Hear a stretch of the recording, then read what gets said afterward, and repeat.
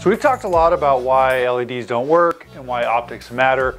And uh, it's actually turned up a lot of questions out there.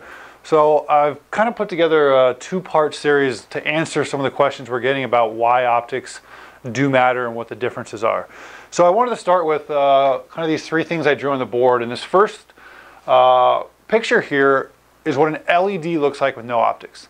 This kind of upside down balloon is what's called a Lambertian pattern. Uh, and it's really how light comes off of a naked or raw LED. And what we get is we get this high value, let's call it 1500 micromoles, which is your par value directly underneath it. And as you move away, 1500, 100, it, it, it kind of slowly fades away, uh, but you get that high value right in the middle.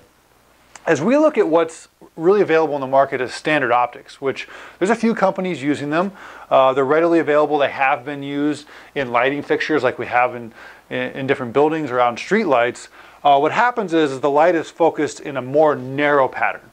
Uh, this looks really great when you're trying to spike par values and pretend like something's great uh, from a marketing angle, but it's not really good for your plants because what happens is you might hit 2,000 micromoles per second here, but quickly you're down to 1,000 and then 100.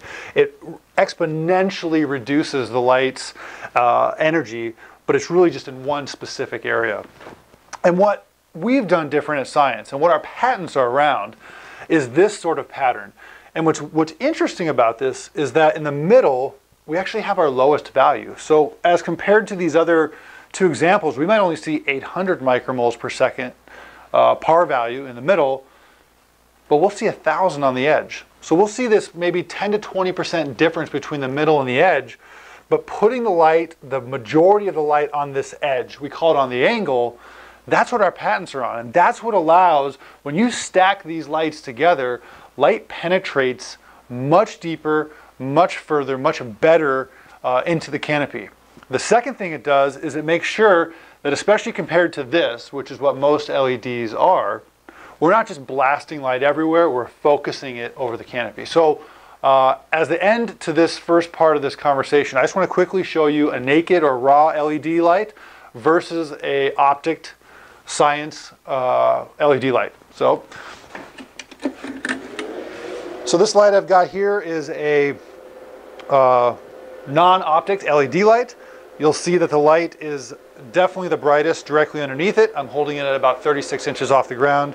If you look at the wall behind me, you'll see the light is just splattered on the wall. Uh, and it slowly moves away in a linear fashion from the brightest spot in the middle to the weakest at the edge.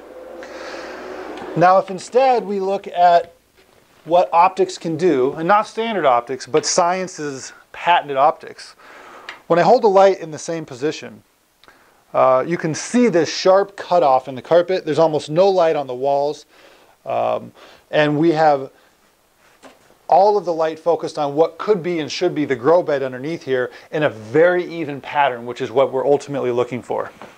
So hopefully that gives you further insight as to what we're talking about with the difference in optics out there. Uh, and stay tuned for part two. We'll get a little bit deeper into what this means when we put multiple lights together.